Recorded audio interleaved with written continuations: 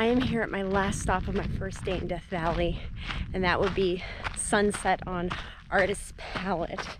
It is an hour before sunset, and the Artist Palette is a particularly colorful portion of the hills here, um, overlooking the Badwater Basin area in Death Valley. It's also a scenic drive, and they are best appreciated at sunset because the sun hits them from from the west and just makes the colors light up. Um, and yes, I'm wearing a dress. I had my shower, so a little bit different hiking attire, but this very casual hike.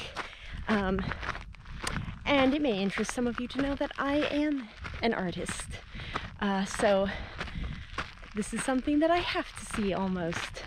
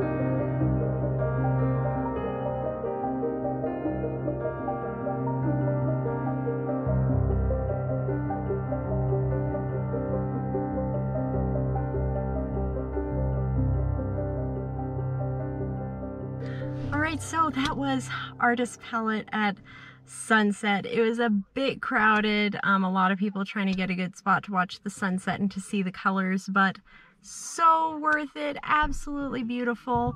Um a fun little bit of scrambling there. Kind of weird hiking in a dress this nice but you know it's just short and you can kind of explore as much or as little as you want. Um, I'm going to get going to my campground for the night because tomorrow I have a very big day ahead of me. Here are my favorite pictures from the artist palette today. Enjoy.